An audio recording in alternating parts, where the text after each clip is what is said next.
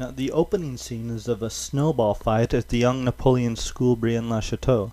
The use of a handheld camera and extremely quick cuts gives Napoleon a dynamism that's unique in silent films. It feels more like something modern by Darren Aronofsky than by D.W. Griffith. Griffith is brought to mind, however, when we see Abel Gance's staged historical reenactments. Maximilian Robespierre is given some dastardly sunglasses, but Gance stays close to David with the death of Marat. Gance doesn't waste much time with subtlety.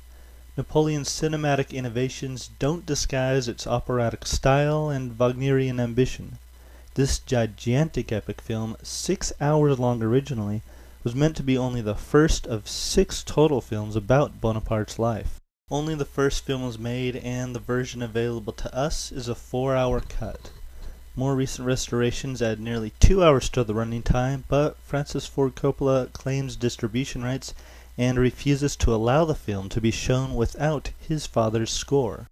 The last scene of what we do have is perhaps more innovative than the first.